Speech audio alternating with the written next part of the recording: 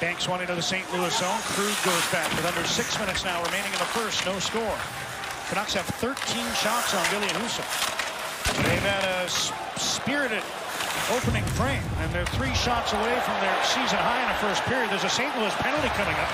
Krug and Highmore all tangled up. And Krug might get more than one if he keeps this up. Garrett Rank out at center had the penalty signaled already. And it's Barbashev headed to the box, not Krug. And Krug lucky maybe he's not going as well. Oh, they are going to go. Two penalties here. Canucks are going to have a big advantage when we come back. St. Louis penalty number 49, two minutes for roughing.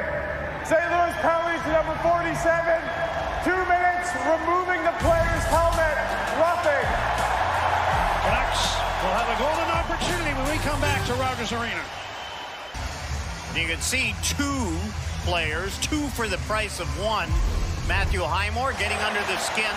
Barbashev already had his penalty, and here's Torey Krug. He takes the helmet off, and that's Rule 46 in the rule book.